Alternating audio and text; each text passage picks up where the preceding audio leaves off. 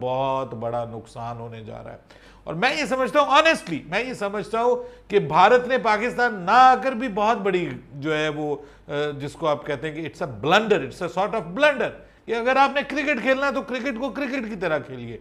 यार नहीं जाना रिकॉर्ड हो गया जी। नहीं जाना पड़ेगा। आप भाई जब गवर्नमेंट को बीच में लेके आ जाओगे गवर्नमेंट परमिशन ही दे रही तो आईसीसी क्या करेगी? हाँ आईसीसी फिर ये शायद कर सकती है। हो सकता है। शायद ये कर दे कि भाई आपके मैचेस हम एक आध मैच हम बाहर कर देते हैं या आप कोई सेमीफाइनल फाइनल कर नहीं होगा आईसीसी के इवेंट्स में। यार सब कुछ हो जाएगा। नहीं होगा सब कुछ हो जाएगा। नहीं होगा। सब कुछ हो जाएगा। 2031 तक आईसीसी का एफटीपी लॉक्ड है सर अनाउंस होता है ये आप मैं आपको फिर बता रहा हूँ ये कि एशिया कप नहीं है सर जिसमें बैठ के का शेड्यूल अनाउंस हो रहा है। लेकिन सर अभी इसके इम्तिहान भी हैं। पाकिस्तान क्रिकेट बोर्ड के हेड नदम सेठी ने एक बार फिर एक ट्विस्ट डाला है स्टोरी में। और उन्होंने कहा कि जनाब, हमने अभी तक जो है वो कंफर्म नहीं किया वर्ल्ड कप में जाने के लिए। हमने तो ये कहा है कि गवर्नमेंट की इजाज़त से मशरूत है ये सारा कुछ। गवर्नमेंट ऑफ़ पाकिस्तान अगर इजाज़त देगी तो फिर हम वर्ल्ड कप में जाएँगे और उसके बाद। कि अगर हमारी हुकूमत सिक्योरिटी कंसिड्रेशन देखते हुए हमें इजाज़त देगी तो हम आएँगे। अगर वो नहीं देगी तो हम कैसे आएँगे? पहली बात। और अगर वो देती है तो फिर ये इशू बनता है कि कहाँ, कौन सा मैच होना है और कहाँ और वहाँ क्या हमारी प्रेफरेंस क्या है? चेन्नई है कलकत्ता है अहमदाबाद है। वो बात की बात है। पहली बात तो यह कि हम जाएँगे कि नहीं जाएँगे? और क्यों नहीं? अगर नहीं जाते तो क्यों नहीं जाएँगे? और अगर जाएँगे तो क्यों जाएँगे? तो ये हुकूमत के फैसले हैं। तो I think we leave it जब वक्त आएगा तो पूछ लेंगे उनसे। क्या इंडिया जाना है? यार नहीं जाना रिकॉर्ड हो गया जी। नहीं जाना पड़ेगा। आप भाई जब गवर्नमेंट को बीच में लेके आ जाओगे गवर्नमेंट परमिशन ही दे रही तो आईसीसी क्या करेगी? हाँ आईसीसी फिर ये शायद कर सकती है।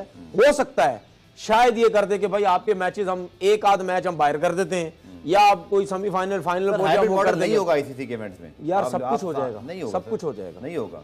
सब कुछ हो जाएगा। 2031 तक आईसीसी का एफटीपी लॉक्ड है सर। अनाउंस होता है ये आप मैं आपको फिर बता रहा हूँ ये कि एशिया कप नहीं है सर जिसमें बैठ के फैसला बनवाई जा सकती है। अब अगर इंडिया कह रहा है कि मैंने आकर खेलना ही नहीं है पाकिस्तान में तो इस पर तो पाकिस्तान कुछ नहीं कर सकता। ना, उन्होंने कहा कि हमारी गवर्नमेंट इजाज़त ही नहीं दे रही पाकिस्तान जाकर खेलने के लिए। अब इन्होंने ये मामला मुकाबले में उठाया हुआ है, इन्होंने कहा कि जी, हमारी भी गवर्नमेंट इजाज़त देगी तो फिर जो है वो हम जाएँगे और फिर आपको बताएँगे कि हम कौन से शहरों में खेलेंगे। सो ये एशिया कप का तो वेन्यू अनाउंस हो गया है सब कुछ कहेंगे कि हम पिचेस के ऊपर नहीं दे जाएँगे, हम जाएँगे सिक्योरिटी कंसिडरेशन के ऊपर। अब उनकी तरफ़ से तो ज़ाहिर है वो कहते हैं जी, अहमदाबाद में एक लाख बंदा आता। उनके लिए तो it's a very big show मगर हो सकता है कि हमारी हेलो दोस्तों, देखिए यार, अभी पाकिस्तान जो है वो इस समय पीसी भी जो है वो यार भाँग खा के बैठ गया दोस्तों। भाँग किस कारण खाया वो मैं आपको बता देता हूँ। देखिए बीसीसीआई ने इनका हाइब्रिड जो मॉडल था उसे एक्सेप्ट कर लिया था और आईसीसी के मतलब टूर्नामेंट हो गए एशिया कप का जो टूर्नामेंट है, उसके लिए सब कुछ रास्ते साफ़ हो गए थे। लेकिन अब जो यार पीसीबी जो बोल रहा है कि उसका नया ड्रामा शुरू हो गया है। अब पीसीबी का कहना है कि अब हम जो खेलेंगे, जब हमें सरकार अनुमति देगी भारत में खेलने की, तब हम भारत जाएँगे। और इसके साथ में उन्होंने कहा है कि जिस प्रकार भारत की जो गवर्नमेंट है वो पाकिस्तान में खेलने की इजाज़त नहीं देती, उसी प्रकार हमें भी अपनी गवर्नमेंट से पूछना पड़ेगा कि वो हमें इजाज़त देगी या नहीं देगी। इसके साथ साथ उन्होंने यार कहा है कि हम बिगर गवर्नमेंट के नहीं जा सकते। दोस्तों मैं आपको एक बात बता दे रहा हूँ बी अभी शांत बैठा हुआ है। वो सुन रहा है इनको देख रहा है। जिस दिन उन्होंने बोलना चालू करा ना तो ये हाइब्रिड क्या बिगर हाइब्रिड मॉडल के भी क्रिकेट खेलने आएँगे यहाँ पे। अभी वो शांत बैठा है तो इसलिए ये ज़्यादा बड़बड़ कर रहे जा रहे हैं। दोस्तों आगे देखते हैं पाकिस्तानी मीडिया ने क्या कहा। मेरे पास। हम्म। तो भाई मैं एक सही बात कर रहा हूँ हम्म। क्योंकि आप बहुत अरसे से ड्रामेबाजी कर रहे हैं। हम्म। इंडिया का जितना बड़ा से बड़ा क्रिकेटर उनका जर्नलिस्ट मैं इनके अगेंस्ट नहीं हूँ। मैं उनके मुँह से सिर्फ़ ये सुनना चाहता हूँ कि क्या वो डायरेक्टली ये बात करेंगे साफ़ साफ़ जिस तरह हम करते हैं कि हम तो जाएँगे वर्ल्ड कप में वो बात करेंगे हम आएँगे एशिया कप चैंपियन ट्रॉफी में। वो नहीं करेंगे। हम काम भी नहीं कर रहे सर। नजम सेठी साहब ने बोल दिया ना नहीं नहीं आप मेरी बात मेरी बात नहीं समझ रहे मेरी बात नहीं समझ रहे। हम लोग कौन? हम क्रिकेटर्स या मीडिया से ताल्लुक रखने वाले लोग हम तो साफ़ कहेंगे ना वो बात की बात है गवर्नमेंट का क्या फैसला है हम तो साफ़ बात करेंगे जाना चाहिए। उनके लोग करेंगे? ये उनके उनकी मर्ज़ी है लेकिन ज़रूरी है जो वो चाह रहे हैं वही हो मैं तो आपसे ये कह रहा हूँ। देखें मेरी बात मेरी बात समझे मेरी बात मैं लिख के दे दूँ आपको मेरा पॉइंट मार्कर पे एक चीज़ मार्कर पे लिख के दे वर्ल्ड कप है वर्ल्ड कप शुरू हो रहा है आपका अक्टूबर में। यार वर्ल्ड कप जब ना पाँच अक्टूबर से वर्ल्ड कप शुरू हो रहा है। सोलह जून को नजम सेठी साहब कह रहे हैं हमारी गवर्नमेंट फैसला करेगी। हम भी तो ये कर रहे हैं ना हमने भी गवर्नमेंट पर डाला हुआ है। आखिर में दोनों जाएँगे ये मैं आपको समझा रहा हूँ। वो कहते हैं ना आखिर में क्या होगा मैं आपको बता रहा हूँ आप उसमें लगे हैं कि क्या पहले होगा क्या बाद में। मैं इसमें नहीं लगा हुआ दोनों जाएँगे। मैं इसमें नहीं लगा हुआ अच्छा अगर छोड़े अभी ये बताएँ कि नजीब सेठी साहब से मैं इस पे लगा हुआ मैं इस पे लगा हुआ हूँ मैं इस। पे लगा हूँ आईसीसी को कोई इतना बड़ा फर्रा तैयार करना चाहिए। हाँ। उसके नीचे पाकिस्तान क्रिकेट बोर्ड हम्म। और बीसीसीआई के सिग्नेचर होने चाहिए। हम्म। पक्के ठीक है। ड्रामेबाजियों वाले नहीं हाँ। पक्के के भाई हम तो आएँगे वर्ल्ड कप में इनको भी बोलो चैंपियन ट्रॉफी में आए। आपको बात बताऊँ?